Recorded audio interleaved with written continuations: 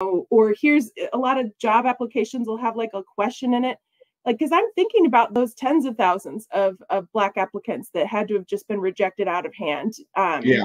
there Yeah. was questions that they had to answer as part of that as part of the um, application they had to type in questions so i'm thinking like give the power back into the hands of the people and just Mhm. here you got some questions on those applications we'll use ai to quick write in your response Yeah. rather than wasting your time on it because the corporation isn't wasting any time on you I appreciate where your head is.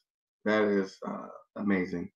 How do you navigate the tension between maximizing the efficiency and ensuring fairness and equity when using AI in organizational settings, whatever those be, whether it's the police, as you just mentioned, which would be super dope. I don't know if they're considering that.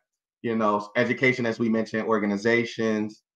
How do you make sure that folks are uh, being treated fairly and equitable while making sure that the efficiency is maximized because that's what AI is for. Yeah, I think that that is going to be coming back to that transparency and accountability discussion Okay. that we were talking about. Like